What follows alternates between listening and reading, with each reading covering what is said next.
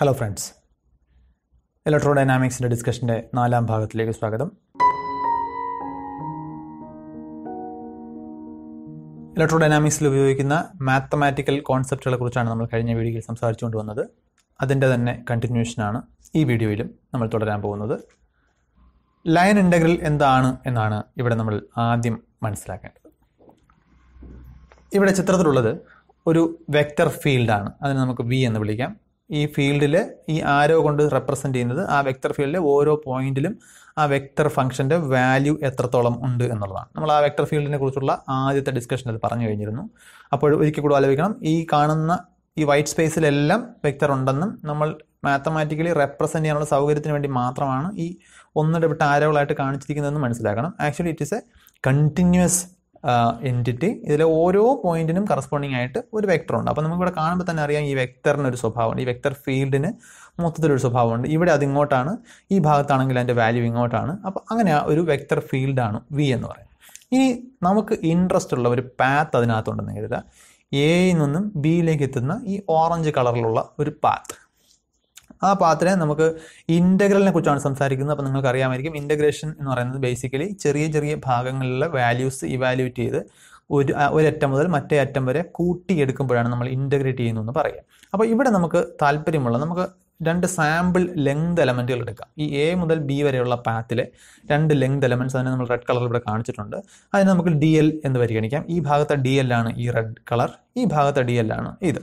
ഈ രണ്ട് ഡി എല്ലും ഇരിക്കുന്ന സ്ഥാനങ്ങളിൽ ഈ വെക്റ്റർ ഫംഗ്ഷന് രണ്ട് വാല്യൂസ് ആണെന്ന് കാണാം. അല്ലെ രണ്ട് അത് ഡയറക്ഷൻ ആയാലും മാഗ്നിറ്റ്യൂഡ് ആയാലും ഈ ഡോട്ടഡ് ആരോ കൊണ്ട് കാണിക്കുന്നത് അതേ ഡയറക്ഷനിലെ അവിടുത്തെ ഡയറക്ഷനുകളാണ് ഇപ്പോൾ ഇവിടുത്തെ ഈ ഡി എല്ലിനെ സംബന്ധിച്ചിടത്തോളം ആ ഡി എല്ലിന്റെ ഡയറക്ഷൻ ഇതാണ്. അവിടെ എന്നാൽ ഈ വെക്റ്റർ ഫീൽഡ് വിയുടെ ഡയറക്ഷൻ ഇങ്ങനെയാണ്. അല്ലെ? ഈ ഡോട്ടഡ് ലൈനാണ് ഇവിടുത്തെ ഡി എല്ലിനെ സംബന്ധിച്ചിടത്തോളം അതിന്റെ ഡയറക്ഷൻ ഇങ്ങോട്ടാണ്. നമ്മൾ എയിൽ നിന്നും ബിയിലേക്കുള്ള പാത്തിനെ കുറിച്ചാണ് സംസാരിക്കുന്നത്. ബിയിൽ നിന്നും എയിലേക്കാണെന്നുണ്ടെങ്കിൽ ഈ ഡയറക്ഷൻ തിരി എന്ന് പ്രത്യേകം പറയേണ്ടതില്ലല്ലോ.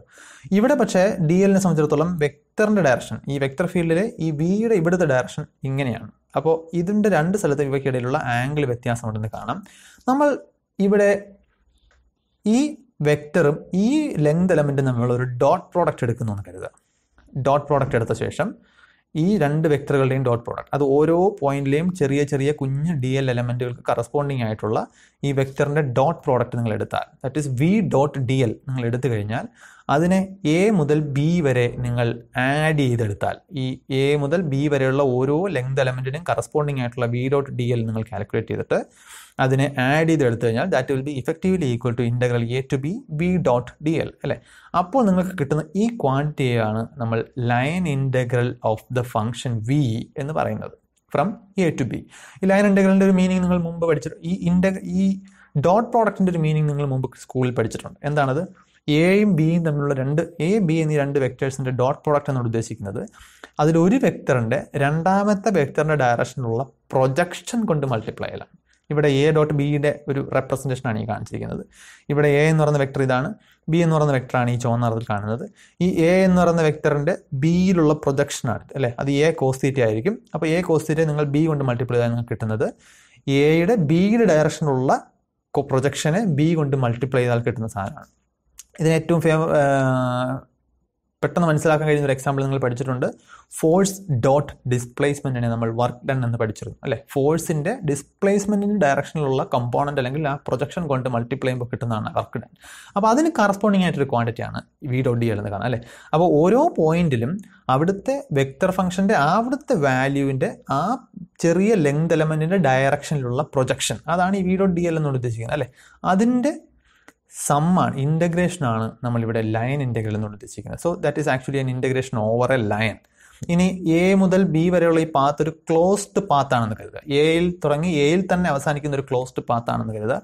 അത് ഏത് ഷേപ്പും ആയിക്കൊള്ളട്ടെ. അപ്പോൾ ആ ലൈൻ ഇന്റഗ്രൽ നമ്മൾ ക്ലോസ്ഡ് ലൈൻ ഇന്റഗ്രൽ എന്ന് വിളിക്കും. ഇവിടെ അതാണ് ഇതാണ് അതിന്റെ symbol V dot D L എന്നാണ് നമ്മൾ അതിനെ റെപ്രസെന്റ് ചെയ്യുന്നത്. സെയിം തന്നെയാണ്. പക്ഷേ എ ടു ബി എന്ന് പറഞ്ഞ ലിമിറ്റ് എ ടു എ എന്ന് പറയുന്ന ഒരു ക്ലോസ്ഡ് ലൂപ്പ് ആകുമ്പോൾ that becomes a closed line integral എന്ന് പറയാം. ക്ലോസ്ഡ് ലൈനുകളുടെ മറ്റൊരു എക്സാമ്പിളാണ് ഈ കാണുന്നത്. നിങ്ങൾക്ക് എക്സ് വൈ പ്ലെയിനിൽ ഇവിടെ എഫ് ഡോട്ട് ഡി ആർ ആണ് അടയാളപ്പെടുത്തിയിരിക്കുന്നത്. കാരണം ഈ ബ്ലൂ ഡയറക്ഷനിൽ ഈ ബ്ലൂ ആരോസ് ആണ് എഫ് റെപ്രസെന്റ് ചെയ്യുന്നത്. ഓരോ ആ സർക്കുലർ പാത്തിലെ ഓരോ സ്ഥലത്തുമുള്ള ഡി എൽ എലമെന്റ് ഇങ്ങനെ റെഡ് ആരോ ആയിട്ട് കാണിച്ചിട്ടുണ്ട്. ഈ ബ്ലൂ ആരോയുടെയും red ആരോയുമാണ് F R dot D R എന്ന് പറയുന്ന ഡോട്ട് പ്രോഡക്റ്റ് അതിനെ ഇന്റഗ്രേഷൻ ഓവർ സി ഈ സി ആണ് ഈ circle integration over C F R dot D R എന്ന് പറയുന്നത്. ഈ ഫംഗ്ഷന്റെ ഈ സർക്കിളിലൂടെയുള്ള ക്ലോസ്ഡ് ലൈൻ ഇന്റഗ്രലാണ് എന്ന് നമുക്ക് പറയാം. അപ്പോൾ അങ്ങനെയാണ് ആ ലൈൻ ഇന്റഗ്രൽ എന്ന വാക്കിന്റെ മീനിങ്. ഇതിന് സിമിലറാണ് സർഫസ് ഇന്റഗ്രൽ ലൈൻ ഇന്റഗ്രൽ ഒരു പാത്ത് ഒരു പാത്തിലൂടെ ആയിരുന്നുണ്ടെങ്കിൽ സർഫസ് ഇന്റഗ്രൽ അതൊരു ടു ഡയമെൻഷണൽ സർഫസിലൂടെയാണ് എന്നേ ഉള്ളൂ. ഇവിടെയും ഡോട്ട് പ്രോഡക്റ്റ് ആണ് നമ്മൾ എടുക്കുന്നത്. നിങ്ങൾക്ക് മനസ്സിലാക്കേണ്ടത് അവിടെ നമ്മൾ ഇങ്ങനെയാണ് റെപ്രസെന്റ് ചെയ്യുക. രണ്ട് double surface integral F dot D S എന്ന് സൂചിപ്പിക്കുന്നു.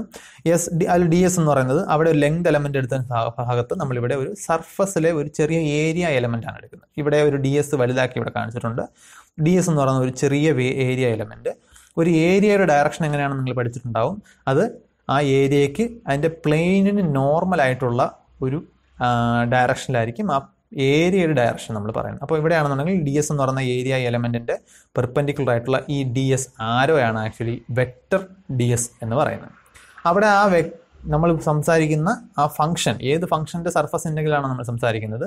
ആ ഫംഗ്ഷനും ആ സർഫസ് വെക്ടറും അല്ലെങ്കിൽ ആ ഏരിയ വെക്ടർ ഡി എസും തമ്മിലുള്ള dot product F dot D S കണ്ടെത്തിയിട്ട് അതിനെ ഈ സർഫസിലൂടെ മൊത്തം ഇന്റഗ്രേറ്റ് ചെയ്താൽ നിങ്ങൾക്ക് കിട്ടുന്നതാണ് സർഫസ് ഇന്റഗ്രൽ എന്ന് പറയുന്നത്. അപ്പോൾ അവിടെ നമ്മൾ അതിന്റെ മീൻ ഫിസിക്കൽ മീനിങ് പറഞ്ഞു. ആ വെക്ടർ ഫംഗ്ഷന്റെ ആ പാത്തിലുള്ള പ്രൊജക്ഷനാണ് നമ്മൾ സംസാരിക്കുന്നുണ്ടെങ്കിൽ ഇവിടെ ആ വെക്ടർ ഫംഗ്ഷന്റെ ആ സർഫസിന് പെർപെൻഡിക്കുലർ ആയിട്ടുള്ള കമ്പോണന്റ് ആ സർഫസിനെ നേരെ കുത്തനെ ക്രോസ് ചെയ്ത് പോകുന്ന കമ്പോണൻസ് എല്ലാം കൂടി ആഡ് ചെയ്തെടുത്താൽ കിട്ടുന്നതാണ് അതിന്റെ സർഫസ് ഇന്റഗ്രൽ എന്ന് വിളിക്കുന്നത്. അപ്പോൾ അതേ സാധനം നിങ്ങൾക്ക് ഒരു ക്ലോസ്ഡ് സർഫസിനെ കുറിച്ച് സംസാരിക്കാം. ഇവിടെ ക്ലോസ്ഡ് സർഫസ് ആണെന്ന് ഒരു ഇലക്ട്രിക് ഫീൽഡ് ഇ ആണെന്ന് കരുതുക. അത് ക്രോസ് ചെയ്ത് പോകുന്നു. ആ ഇക്ക് ഓരോ ഇവിടെ കാണിച്ചിരിക്കുന്ന ഈ കുഞ്ഞു നീല ആരകളെല്ലാം ആ സർഫസിലെ ചെറിയ എലമെന്റിന് പെർപെൻഡിക്കുലർ ആയിട്ടുള്ള സർഫസിന്റെ ഡയറക്ഷൻസ് ആണ്. അപ്പോൾ ഈ ഇ എവിടെയൊക്കെ ഉണ്ടോ അതിന് അത് ഏതൊക്കെ ഭാഗത്തുകൂടി കടന്നു പോകുന്നുണ്ടോ ആ അതാത് സ്ഥലങ്ങളിലുള്ള സർഫസിലെ പെർപെൻഡിക്കുലർ വെക്ടറുമായിട്ടുള്ള അതിന്റെ ഡോട്ട് പ്രോഡക്റ്റ് കണ്ടെത്തിയിട്ട് അതിനെ ഇന്റഗ്രേറ്റ് ചെയ്തെടുക്കുമ്പോൾ കിട്ടുന്ന ക്വാണ്ടിറ്റിയാണ് ഈ closed integral E dot D S എന്ന് പറയുന്നത്. നമ്മൾ നേരത്തെ ക്ലോസ്ഡ് ഇന്റഗ്രൽ പാത്തിൽ പറഞ്ഞതുപോലെ തന്നെ ഇവിടെ ഒരു ക്ലോസ്ഡ് സർഫസ് ഇന്റഗ്രൽ ആണെന്നേ ഉള്ളൂ. ചിലയിടങ്ങളിൽ ഇത് രണ്ട് ഡബിൾ ഇന്റഗ്രൽ സൈൻ വെച്ചും റെപ്രസെന്റ് ചെയ്യാറുണ്ട്. But the meaning is same അവിടെ ഒരു വെക്ടറിന്റെ ആ പാത്തിലൂടെയുള്ള പ്രൊജക്ഷന്റെ സം ആണെന്നുണ്ടെങ്കിൽ ഇവിടെ ഒരു വെക്ടറിന്റെ അതിന്റെ സർഫസിന് പെർപെൻഡിക്കുലർ ആയിട്ടുള്ള പ്രൊജക്ഷന്റെ എല്ലാം കൂടി സർഫസിലൂടെയുള്ള ഇന്റഗ്രേഷനാണ് സർഫസ് ഇന്റഗ്രൽ എന്ന് പറയുന്നത്. ഇനിയുള്ളത് സർഫസ് ഇന്റഗ്രലുമായിട്ട് ബന്ധപ്പെട്ട മറ്റൊരു വാക്കാണ് ഫ്ലെക്സ് എന്ന് പറയുന്നത്. അത് ഇനി നമുക്ക് അങ്ങോട്ട് ഒരുപാട് സ്ഥലത്ത് ഇലക്ട്രിക് ഫ്ലെക്സ് മാഗ്നറ്റിക് ഫ്ലെക്സ് എന്നൊക്കെ പറയുന്നുള്ളതുകൊണ്ട് അത് ഊഹിക്കാൻ അത് മനസ്സിലാക്കാനുള്ള എളുപ്പത്തിന് വേണ്ടിയിട്ടാണ് ഈ ഉദാഹരണം പറയുന്നത്. ഫ്ലെക്സ് എന്താണെന്ന് ചോദിച്ചു കഴിഞ്ഞാൽ നമ്മളൊരു കാറിൽ യാത്ര പോകുന്നു എന്ന് കരുതുക. അപ്പോൾ കാറിൽ അപ്പോൾ ആ ചുറ്റും ഒരു ചെറിയ ചാറ്റൽ മഴ പെയ്യും. അപ്പോൾ ചെറിയ കുഞ്ഞു വെള്ളത്തുള്ളികൾ കാറിന്റെ ഗ്ലാസ്സിൽ വന്ന് പറ്റും. നിങ്ങൾ ശ്രദ്ധിച്ചാൽ ഒരു കാര്യം ശ്രദ്ധിച്ചിട്ടുണ്ടോ എന്നറിയില്ല. നിങ്ങൾ ശ്രദ്ധിച്ച് നോക്കിയാൽ കാണാം. കാറിന്റെ ഫ്രണ്ട് ഗ്ലാസ്സിലാണ് ഏറ്റവും കൂടുതൽ വെള്ളത്തുള്ളികൾ നിങ്ങൾക്ക് കാണാൻ കഴിയുക. കാറിന്റെ സൈഡ് ഗ്ലാസ്സിൽ താരതമ്യേന വെള്ളത്തുള്ളികൾ കുറവായിരിക്കും എന്ന് കാണാം. എന്തുകൊണ്ടാണ് സംഭവിക്കുന്നത്? കാരണം ഈ മഴത്തുള്ളിയുടെ ഡയറക്ഷനെ സംബന്ധിച്ചിടത്തോളം മഴത്തുള്ളിയെ സംബന്ധിച്ചിടത്തോളം ഈ വിൻഡ് ഷീൽഡ് ആ മഴത്തുള്ളിക്ക് കുറുകയാണ് നിൽക്കുന്നത്. നമുക്കത് ഏതാണ്ട് പെർപ്പൻഡിക്കുലർ ആണെന്ന് അസ്യൂം ചെയ്യാം. കാറിന് പകരം നിങ്ങളൊരു ബസ്സിന്റെ ഗ്ലാസ് ആണ് പരിഗണിക്കുന്നുണ്ടെങ്കിൽ അത് കുറച്ചുകൂടി കൃത്യമായിരിക്കാം. നിങ്ങൾ ആ സം ആ ഗ്ലാസിനെ സംബന്ധിച്ചിടത്തോളം അതിന് പെർപെൻഡിക്കുലർ ആയിട്ടാണ് മഴത്തുള്ളികൾ വരുന്നത്. അപ്പോൾ അതിനെ ക്രോസ് ചെയ്ത് പോകുന്ന മഴത്തുള്ളികൾ എണ്ണത്തിൽ കൂടുതലായിരിക്കും. എന്നാൽ നേരെ മറിച്ച് ഈ സൈഡ് ഗ്ലാസ് എന്ന് പറയുന്നത് മഴത്തുള്ളിയുടെ ഡയറക്ഷന് പെർപെൻഡിക്കുലർ ആയിട്ടാണ് ഓറിയന്റ് ചെയ്തിരിക്കുന്നത്. സർഫസിന്റെ ഡയറക്ഷൻ ആലോചിക്കുക. സർഫസിന്റെ ഡയറക്ഷൻ അതിന് പെർപെൻഡിക്കുലർ ആയിട്ടുള്ള ഒരു ലൈനിലൂടെയാണ് നോർമൽ ടു ദ പ്ലെയിൻ ആണ് അതിന്റെ ഡയറക്ഷൻ എന്ന് പറയുന്നത്. സൈഡ് ഗ്ലാസിനെ സംബന്ധിച്ചിടത്തോളം മഴത്തുള്ളി ഫ്രണ്ടിൽ നിന്നാണ് വരുന്നത്. സൈഡ് ഗ്ലാസിന്റെ നോർമൽ എന്ന് പറയുന്നത് അതിന് പെർപെൻഡിക്കുലർ ആയിട്ടാണ്. അപ്പോൾ അതുകൊണ്ട് അവിടെ വെള്ളത്തുള്ളികൾ വീഴുന്നത് വളരെ കുറവായിരിക്കും. അപ്പോൾ വെള്ളത്തുള്ളികളുടെ ഫ്ലക്സിനെ കുറിച്ചാണ് നമ്മൾ സംസാരിക്കുന്നുണ്ടെങ്കിൽ it actually represents the surface integral of that water molecules with respect to the particular surface ഇവിടെ ആ വാട്ടർ മോളിക്യൂൾസിനെ സംബന്ധിച്ചിടത്തോളം അതിന്റെ വെലോസിറ്റിക്ക് പെർ അതേ ഡയറക്ഷനിലാണ് ഈ ഗ്ലാസ് വാൾ ഉള്ളത് എന്നുള്ളത് കൊണ്ട് തന്നെ അവിടെ അതിന്റെ ഡോട്ട് പ്രോഡക്റ്റ് മാക്സിമം ആയിരിക്കും. കാരണം അതേ ഡയറക്ഷനിലാകുമ്പോൾ തീറ്റ സീറോ ആവും അപ്പോൾ കോസ് തീറ്റ വൺ ആകും അപ്പോൾ അത് മാക്സിമം ആയിരിക്കും. അപ്പോൾ ഇവിടെ ഫ്ലക്സ് കൂടുതലും ഇവിടെ ഫ്ലക്സ് കുറവാണെന്ന് നമുക്ക് കാണാം. അപ്പോൾ ഒരു സർഫസിലൂടെ ക്രോസ് ചെയ്ത് ഒരുപാട് അളവിൽ ഒരു വെക്റ്റർ ഫംഗ്ഷൻ ഫ്ലോ ചെയ്യുന്നുണ്ടെന്നുണ്ടെങ്കിൽ അതിനെയാണ് നമ്മൾ ശരിക്കും ഫ്ലക്സ് എന്നുകൊണ്ട് ഉദ്ദേശിക്കുന്നത്. വേറൊരു രീതി പറഞ്ഞു കഴിഞ്ഞാൽ ഒരു സർഫസിന് പെർപെൻഡിക്കുലർ ഒരു യൂണിറ്റ് സർഫസിന് പെർപെൻഡിക്കുലർ ആയിട്ടുള്ള ഒരു വെക്ടറിന്റെ ഫ്ലോയെയാണ് നമ്മൾ ശരിക്കും ആ, വെക്റ്ററിന്റെ ആ വെക്റ്റർ ഫംഗ്ഷന്റെ ഫ്ലക്സ് എന്നുകൊണ്ട് സൂചിപ്പിക്കുന്നത്. അപ്പോൾ ഇത് മനസ്സിൽ വെച്ചിട്ട് വേണം നമ്മൾ ഇനി മുമ്പോട്ട് പോകുന്ന ഇലക്ട്രിക് ഫ്ലക്സിനെയും മാഗ്നറ്റിക് ഫ്ലക്സിനെയും ഒക്കെ മനസ്സിലാക്കാൻ. അപ്പോൾ നമ്മൾ ലൈൻ ഇന്റഗ്രലും സർഫസ് ഇന്റഗ്രലും എന്താണെന്ന് പറഞ്ഞു. ഇനി അതിന് അനലോഗസ് ആയിട്ടാണ് വോളിയം ഇന്റഗ്രൽ ഉള്ളത്. മനസ്സിലാക്കാൻ ഒരു ബുദ്ധിമുട്ടുമില്ല. ഒരു ഏറ്റവും നല്ല എക്സാമ്പിൾ എന്ന് പറയുന്നത് നിങ്ങൾ മാസും ഡെൻസിറ്റിയും തമ്മിലുള്ള കണക്ഷൻ മനസ്സിലാക്കിയാൽ മതി. അപ്പോൾ നമുക്കറിയാം ഡെൻസിറ്റി എന്ന് പറയുന്നത് എല്ലാ ക്വാണ്ടിറ്റിക്കും ഒരുപോലെ യൂണിഫോം ആയിക്കൊള്ളണമെന്നില്ല. ചില ചില ഒരു ബൾക്ക് സാമ്പിൾ എടുത്തു കഴിഞ്ഞാൽ അതിന്റെ എല്ലാ ഭാഗവും ഒരുപോലെ ഡെൻസ് ആയിരിക്കില്ല. ചില ഭാഗത്ത് മാറ്റർ കൂടുതൽ കോൺസെൻട്രേറ്റഡ് ആണെന്നുണ്ടെങ്കിൽ അവിടെ ഡെൻസിറ്റി കൂടുതലാണെന്ന് കരുതാം. എന്നാൽ നമ്മൾ ഒരു ചെറിയ അതിനകത്ത് ഒരു ചെറിയ സാമ്പിൾ എടുത്തു കഴിഞ്ഞാൽ വളരെ ചെറിയൊരു സാമ്പിളിനകത്ത് അതിനുള്ളിൽ ഡെൻസിറ്റി ഏതാണ്ട് കോൺസ്റ്റന്റ് ആണെന്ന് നിങ്ങൾ അസ്യൂം ചെയ്ത് കഴിഞ്ഞാൽ ആ സാമ്പിളിന്റെ വോളിയം ഡി ടോ ആണെന്ന് കരുതുക. ടോ ആണ് ഡി ടോ ആണെന്ന് കരുതുക. അതിനെ നിങ്ങൾ ആ ഡെൻസിറ്റി കൊണ്ട് മൾട്ടിപ്ലൈ ചെയ്യാം ഡെൻസിറ്റി ആ ചെറിയ പീസിന്റെ ഡെൻസിറ്റി കൊണ്ട് മൾട്ടിപ്ലൈ ചെയ്താൽ ആ ചെറിയ പീസിന്റെ മാസ് നിങ്ങൾക്ക് കിട്ടും അല്ലേ? അപ്പോൾ ആ ചെറിയ പീസിന്റെ വോളിയത്തെ ആ ചെറിയ പീസിന്റെ മാ ഡെൻസിറ്റി കൊണ്ട് മൾട്ടിപ്ലൈ കഴിഞ്ഞാൽ ആ പീസിന്റെ മാസ് നിങ്ങൾക്ക് കിട്ടും. അങ്ങനെ ആ മെറ്റീരിയലിലെ ഓരോ പീസും പരിഗണിച്ച് അവിടുത്തെ ഡെൻസിറ്റി അതിന്റെ വോളിയം കൊണ്ട് മൾട്ടിപ്ലൈ ചെയ്തിട്ട് അതെല്ലാം കൂടെ ആഡ് ചെയ്ത് കഴിഞ്ഞാൽ നിങ്ങൾക്ക് കിട്ടുന്നത് ആ ആ മെറ്റീരിയലിന്റെ മൊത്തം മാസായിരിക്കും ഓക്കെ ഇങ്ങനെയാണ് നമ്മൾ വോളിയം ഇന്റഗ്രൽ എടുക്കുന്നത്. So it is represented as triple integral F D tau ശ്രദ്ധിക്കുക. നമ്മൾ സർഫസ് ഇന്റഗ്രലും ലൈൻ ഇന്റഗ്രലും പറഞ്ഞപ്പോൾ അതെല്ലാം വെക്റ്റർ പ്രോഡക്റ്റ്സ് ആയിരുന്നു. വോളിയം ഇന്റഗ്രലിനെ സംബന്ധിച്ചിടത്തോളം it is not a vector product it's a scalar product അപ്പോൾ അതുകൊണ്ട് തന്നെ നേരത്തെ പറഞ്ഞതുപോലെ ഫ്ലെക്സ് എന്നോ ലൈൻ ഇന്റഗ്രൽ എന്നോ പറയുമ്പോൾ ഉണ്ടാകാവുന്ന ഡയറക്ഷണൽ ഡിപ്പെൻഡൻസ് ഇവിടെ ആവശ്യം വരുന്നില്ല. It is purely about volume integral which is actually a scalar quantity ഇനി കർവിനെയും സർഫസിനെയും വോളിയത്തെയും കുറിച്ച് നമ്മൾ സംസാരിച്ച് നമുക്ക് ചില കാര്യങ്ങൾ കൂടി അതുമായിട്ട് ചേർത്ത് വെക്കേണ്ടതുണ്ട്. അതിങ്ങനെയാണ് നിങ്ങൾക്ക് നോക്കിയാൽ കാണാം. ഇവിടെ സി എന്ന് പറയുന്ന ഒരു ലൂപ്പ് എസ് എന്ന് പറയുന്ന ഒരു സർഫസിനെ എൻക്ലോസ് ചെയ്യുന്നു നമുക്ക് പറയാം.